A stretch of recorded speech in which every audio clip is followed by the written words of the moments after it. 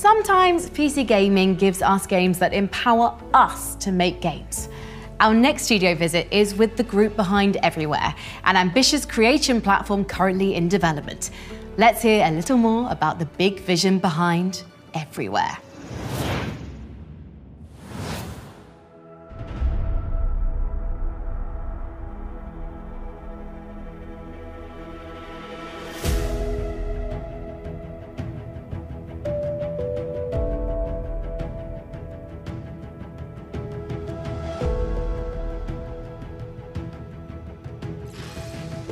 Hey, my name's Adam Whiting, Assistant Game Director here at Build Rocket Boy, and I'm working on Everywhere.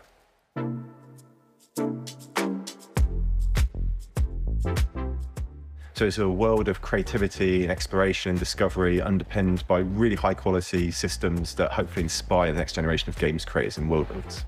Hi, my name's Leslie Benzies. I am the game director of Everywhere and Mind's Eye, founder of Build a Rocket Boy. Everywhere is a place where players can tell their stories, uh, where they can build their own world. There's shooting elements, there's driving elements, there's puzzles. Players can build UGC, take part in many different experiences, and they can also play a AAA game called Mind's Eye tools, which we call Arcadia, they're a part of everywhere, so you don't have to jump to a separate executable to, to trigger them.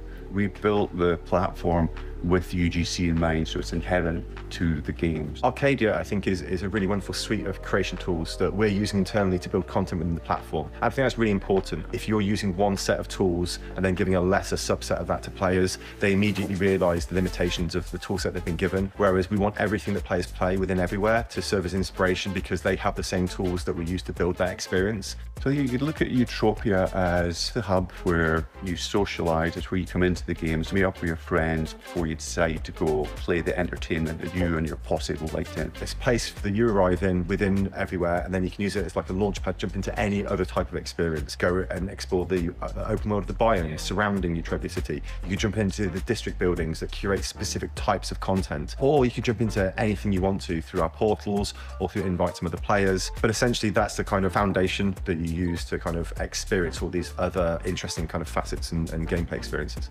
the progression system of the game, the actual gameplay of, of everywhere sits within the biomes. And then you've got these abstracted other areas, which we call arcs, and they're pieces of UGC content that, that we build and, and our players will build. And they're held separately from the, the main world. They're connected by virtue of the fact they're all part of this one ever evolving, ever changing world called Everywhere. And they're all connected, so using the same character and the same data to kind of traverse these different experiences, but they're not causally related or narratively related. You know, we were intentionally taking a very light touch with the narrative within the game because we want this to be a world where players have agency and they have freedom to infer their own stories and their own world building within this space. And we don't really know what they're going to do with it. And we really want to earnestly kind of move forward with them and help them build this world with us. If you were kind of able to take part in like a shared reality with other players of all different types who had all different types of backgrounds and experiences and wants and needs, but they're all being fulfilled by the creative potential of one particular platform, I think that'd be a really exciting place to be.